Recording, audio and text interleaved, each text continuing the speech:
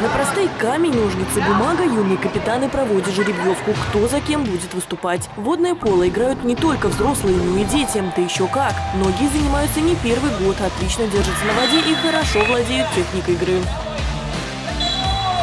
Детское водное поло развивается в Ульяновске. Это видно сегодня. Можем показать замечательную игру, когда собрались три команды трех бассейнов, большое количество детей.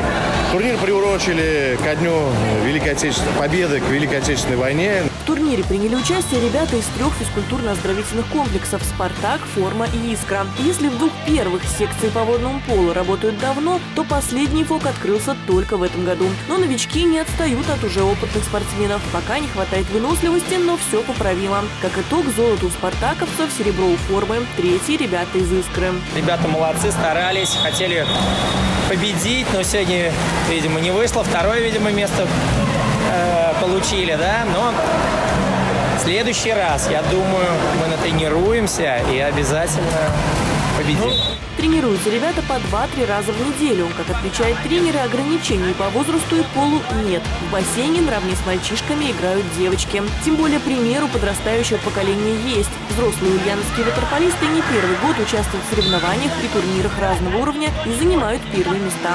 Анна Тищенко, Артур Алимов, Улправда ТВ.